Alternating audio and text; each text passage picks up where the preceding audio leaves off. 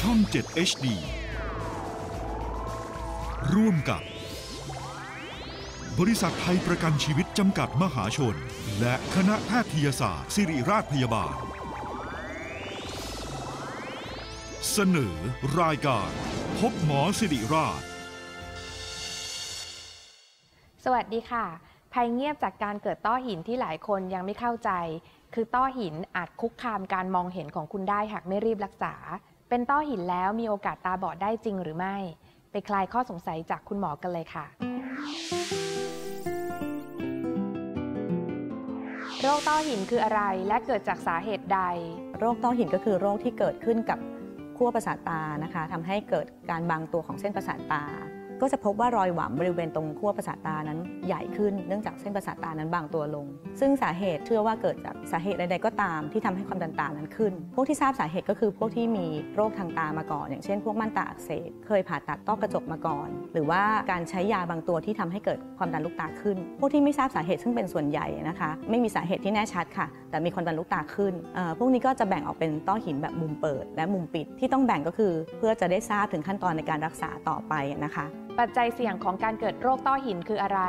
ปัจจัยเสี่ยงในการเกิดโรคก็คือความดันตาที่สูงนะคะ เป็นปัจจัยเสี่ยงสำคัญที่ทำให้เกิดต้อหิน อายุยิ่งมากก็ยิ่งมีความเสี่ยงมาก คนที่มีสายตาผิดปกติมากๆ อย่างเช่นสายตาสั้น หรือสายตายาวมากๆนะคะ ก็จะมีความเสี่ยงมากขึ้น หรือคนที่เคยได้รับการกระทบกระเทือนที่ลูกตามาก่อน คนที่เคยได้รับการผ่าตัดที่ตามาก่อน หรือมีโรคทางตามาก่อนนะคะ ก็จะมีความเสี่ยงกับต้อหิน อาการและการรักษาเป็นอย่างไร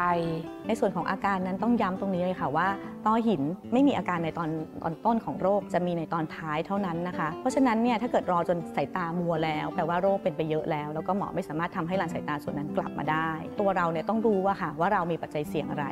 แล้วมาก่อนที่จะทำให้เกิดอาการตามัว ส่วนต้อหินบางประเภทนั้นคือต้อหินมุมปิดฉับพลันจะมีอาการปวดมากนะคะ